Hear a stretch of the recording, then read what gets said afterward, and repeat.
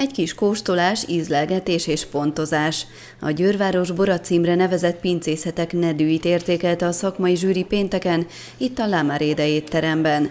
Az ötödik győri bornapok egyik kiemelkedő megmérettetése ez a verseny, melyre ezúttal a Panonhalmi borvidék nyolc termelője jelentkezett.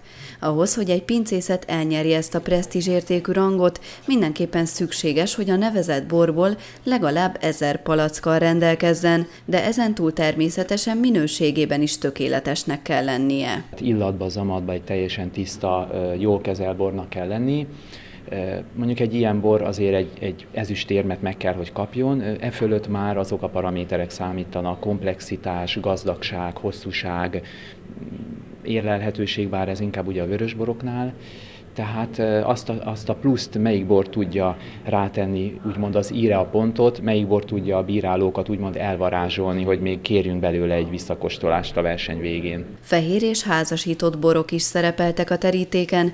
A 2011-es évjáratú nedők a zsűri szerint is jól sikerültek, így nehéz lesz a szakértők döntése. A szerencsés pincészet egy évig viselheti majd a Győrváros Bora címet, ami egyúttal azzal is jár, hogy a különböző hazai és külföldi eseményeken a dobogós bort ajándékozzák majd a protokoll rendezvények szereplőinek.